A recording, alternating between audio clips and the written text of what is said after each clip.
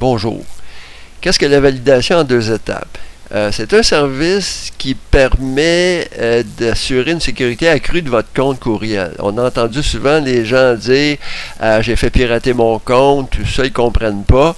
Il est facile pour un pirate d'installer un cheval de Troie avec un enregistreur de touche puis obtenir votre mot de passe. Donc, votre compte n'est pas vraiment à l'abri. comment faire pour le protéger? Ben, la validation en deux étapes ajoute une chose que le pirate n'a pas, c'est votre téléphone dans le portrait.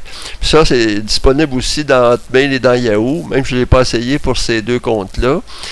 C'est une chose que tout le monde devrait faire parce que vous êtes certain de ne pas vous faire pirater votre compte. Comment faire? Ben, on va dans notre compte Gmail, on clique sur notre icône, ensuite on clique sur mon compte, puis là, ça va ouvrir la page concernant votre compte courriel, vos préférences, et vos renseignements, connexion et sécurité.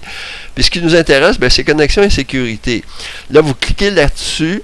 Puis là, ça va ouvrir la page de connexion et sécurité. Moi, je n'ai pas descendu ici cette page-là parce que j'ai de l'information confidentielle que je ne voulais pas qu'il apparaisse. Là. Mais si vous descendez, vous allez voir euh, euh, l'activation en deux étapes. Vous cliquez là-dessus, puis là, on va vous demander où envoyer les codes. Là, vous entrez votre numéro de cellulaire et vous, vous demandez de vous envoyer les codes. Ils vont vous envoyer six codes par texto. Euh, à ce moment-là, dès que vous les recevez, vous entrez vos codes, puis ça, ça va identifier votre cellulaire comme étant votre numéro de téléphone de, base pour être capable euh, de recevoir vos avis de, code numérique de Google. vous, entrez ces chiffres-là, les six chiffres, et vous les validez.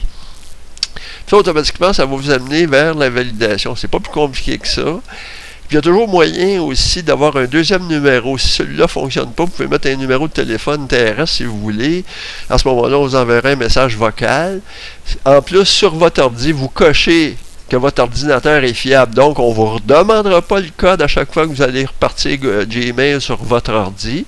Mais il est bien certain qu'un pirate qui a votre quand, votre mot de passe, lui, est sur un autre ordi, euh, il y aura pas, ça ne sera pas un, ordinateur autorisé, puis ça va y prendre les six chiffres qu'il n'y aura pas, donc il ne pourra pas entrer sur votre compte. Même si Gmail se faisait hacker, que les mots de passe étaient tous volés, les pirates ne pourraient pas entrer dans votre compte, tout simple que ça. Vous pouvez aussi associer vos tablettes et tout ça, vous regarderez ça, mais moi je ne le fais pas présentement, j'ai quand même une tablette avec un compte Gmail, mais je ne suis pas obligé de le faire.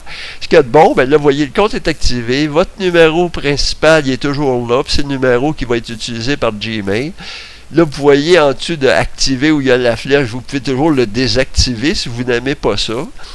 Euh, c'est très utile. Je n'ai pas descendu sur cette page-là, mais si vous descendez plus bas, vous allez voir, vous pouvez mettre un numéro additionnel que vous allez voir. Et en plus, vous pouvez imprimer des codes de sécurité uniques. Ça veut dire que vous allez à l'étranger, vous allez chez un ami, vous voulez utiliser votre Gmail, vous rentrez un de ces codes-là, mais dès qu'il est utilisé une fois, il n'est plus utile. Alors, essayez ça. Moi, je trouve que c'est très bon, puis ça vous protège complètement sans coût additionnel. Merci.